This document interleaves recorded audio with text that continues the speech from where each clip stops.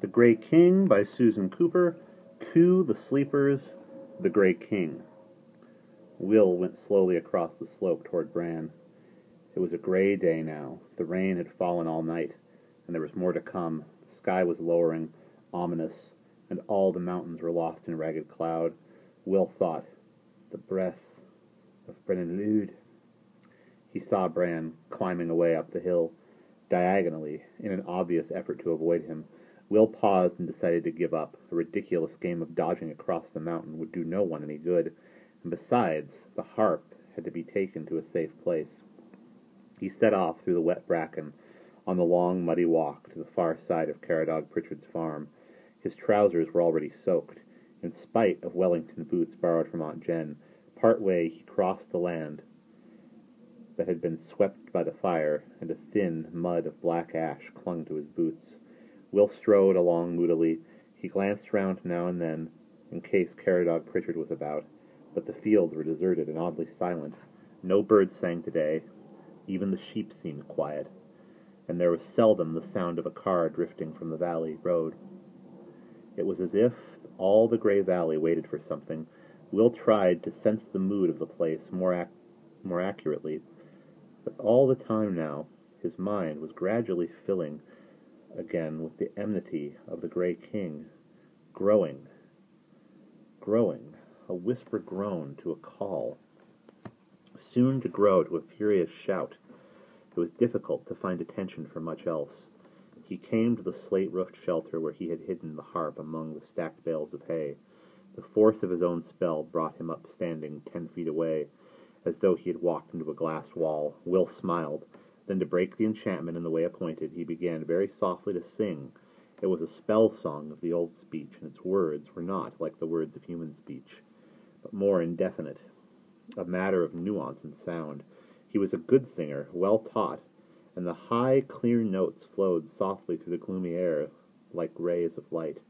Will felt the force of the resisting spell melt away. He came to the end of the verse. Caradog Prichard's voice said coldly behind him, Proper little nightingale, isn't it?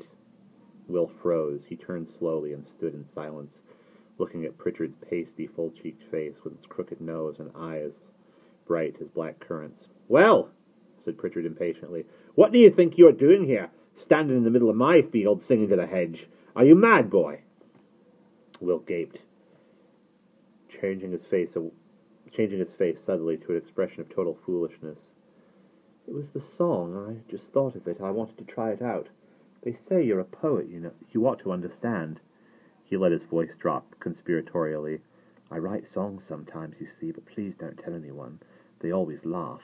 They think it's stupid. Prichard said, Your uncle? Everyone at home. Prichard squinted at him suspiciously. The proud word poet had made its effect, but he was not the kind of man to relax unwarily or for long. He said contemptuously, Oh, the English, they know nothing of music. I'm not surprised clods they are. You have a very good voice for an English boy. Then he sharpened suddenly. But you weren't singing English, were you? No, Will said. What then? Will beamed at him confidently. Nothing, really. They were just nonsense words that seemed to go with the tune. You know. But the fish did not bite. Prichard's eyes narrowed. He looked in a quick, nervous movement up the valley toward the mountains, then back at Will. He said, I don't like you, English boy. Something funny about you, there is. And all this about songs and singing does not explain why you're standing here on my land. Taking a shortcut, that's all, Will said. I wasn't hurting anything, honestly. Shortcut, is it? From where to where? Your uncle's land is all over there, where you came from, and nothing is on the other side of us except moor and mountain. Nothing for you. Go back to Clwyd, Nightingale. Back to your snivelling little friend who lost his dog. Off! Off out of here! All at once he was shouting, the pudgy face dusky red. Get out! Get out! Will sighed. There was only one thing to be done. He had not wanted to risk attracting clo- the closer attention of the Grey King, but it was impossible to leave the harp vulnerable to Caradog Prichard's eye. The man was glaring at him now, clenching his fist in a fit of the same unaccountable vicious rage that Will had seen overtake him before. Get out, I tell you! Get out! There, in the open field, under the still gray sky, Will stretched out one arm with all five fingers stiff and pointing and said in a single and said a single quiet word, and Caradog Prichard was caught out of time, immobile, with his mouth half open, and his hand raised pointing, his face frozen in exactly the same ugly anger that had twisted it when he shot the dog Cafall. It was a pity, Will thought bitterly, that he could not be left that way forever. But no spell lasts forever, and most for only a short breath of time. Quickly Will went forward to the stone shelter, reached in between the bales of hay, and pulled out the gleaming little gold harp. One corner of its frame was caught on an old tattered sack left among the bales. Impatiently he tugged both harp and sacking free, bundled them together under his arm, then he moved round to stand behind Caradog Prichard. Once more he pointed a stiff-fingered hand at him and spoke a single word. And Caradog Prichard, as if he had never intended to do anything else, plodded off across the field toward his farmhouse without once turning round. When he arrived there, Will knew he would be convinced that he had gone straight home from the day's work, and he would not have an ounce of memory of Will Stanton standing in the field singing to the sky. The plodding, paunchy form disappeared over the stile at the end of the field. Will untangled the old sack from the harp's intricate golden frame and was about to toss it aside when he realized how useful it would be as a covering. A nameless bundle under his arm could be explained away if he should meet someone rather more easily than a gleaming and obviously priceless golden harp. As he slid the harp carefully inside the sack, wrinkling his nose at the hay dust puffing out. A movement came across the field, caught his eye. He glanced up, and for a moment even the harp left his mind. It was the great grey fox, king of the milgwn, creature of Brenin Llwyd, loping fast along the hedge. In sudden furious hatred, Will flung out one pointing arm and shouted a word to stop it. But the big grey animal, no longer on its master's land, tumbled, and the big gray animal, no longer on its master's land, tumbled backwards in mid-stride, as if it had been snatched up by a sudden tremendous high wind. Picking itself up, it stood staring at Will, red tongue lolling. Then it lifted its long muzzle and gave one, long, one low howl like a dog in trouble. "It's no good calling," said Will under his breath. "You can just stand there till I decide what to do with you." But then, involuntarily, he shivered. The air seemed suddenly colder, and across the fields all around him he could see creeping in a low ground creeping in a low ground mist that he had not noticed before. Slowly it came pouring over the fences, relentless, like some huge creature, crawling creature.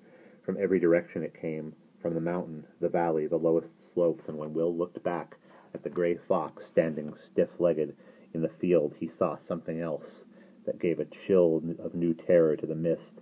The fox was changing color. With every moment as he watched, its sleek body and bushy tail grew darker and darker until it became almost black. Will stared, frowning. He thought irrelevantly, looks just like Pen.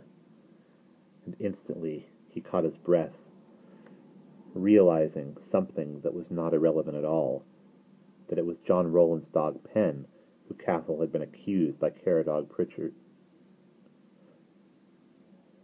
that it was John Rowland's dog Pen who, with Cafall, had been accused by Caradog Prichard of the sheep attacks made in reality by the foxes of the Grey King.